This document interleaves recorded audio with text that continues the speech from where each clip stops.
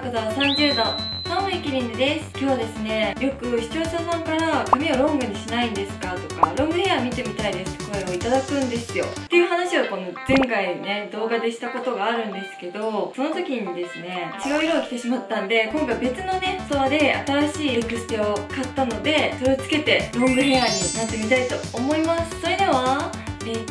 ラ今回ですねじゃじゃーんなんか全然違う感じなんですけどもうちゃんと黒髪っぽいのが来たのでこれでやっていきたいと思います。黒染めをねしようかと思ったんですけどまあまあ黒っぽいからよくね？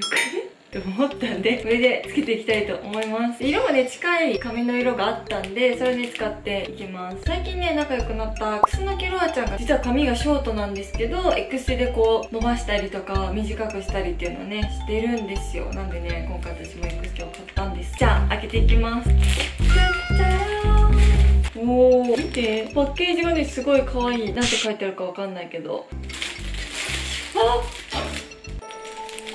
怖い。怖いこれ。めっちゃ髪の毛なんだけど。やばいめっちゃ怖いんだけどこれ。何これ？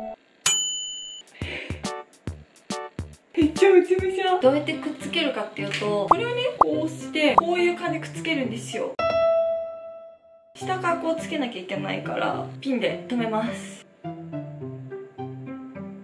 ケーこっちも。あいけた。これでこの辺にこうねセットするんですよ多分。この辺だ。いけ。こんなとこでこれ外せばいいんだね。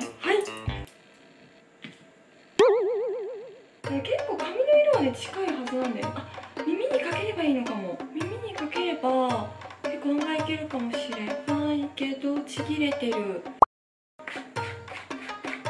すぐ長っ長っえ長っえ長っ長っ。こんな長いのはでもね私幼稚園生ぶりですね。こんなに長いのは久しくやったことがない。でねじゃあくるって巻いていきたいと思うんですけどなんとコテがね引っ越してからつかなくなっちゃったんですよ。さっきね試しにつくかなと思ってやったんです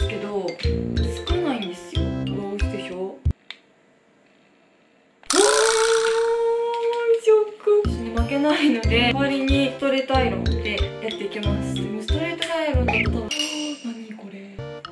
何これ。え？マフラーできるじゃんこれ。ほら。そうでもないや。フードかぶったりしたらわかんないかも。かぶってみよう。あめっちゃロングの子に見える。でもちょっとキューちゃんに見えてきた。違和感しかない。ゴムで結んでちょっとここら辺をねごまかそうかなと思います。一緒にね結んじゃえばいいと思うんですよ多分ね。おお超久々このゴムでシュルルルンって感じ。ああ意外とそれっぽい。こっちもこうやれば。ここがねなんかねどうしてもショートの髪がさポヨンってなっちゃうんだよね。巻き込むようにして止めれば意外といけると思うんだけど。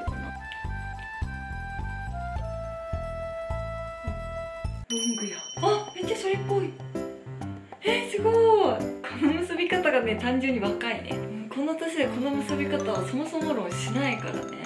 写真撮っとこう。記念ちょっとなんかモコモコしてたよな。しょうがないのかな。ということでちょっとなんかもうすでにボサボサなんですけどいかがでしたでしょうか？それでは今日の動画はこれで終わりになります。最後までご視聴ありがとうございました。是非高評価とチャンネル登録よろしくお願いします。それから Twitter と Instagram もやってるんで是非フォローしてください。